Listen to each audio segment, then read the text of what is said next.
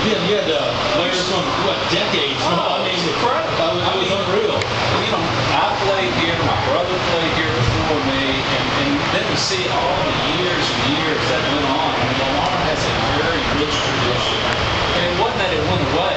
It just was kind of uh, in hiatus for a while, and now it's uh, it's back. It's it's rich. It's getting even richer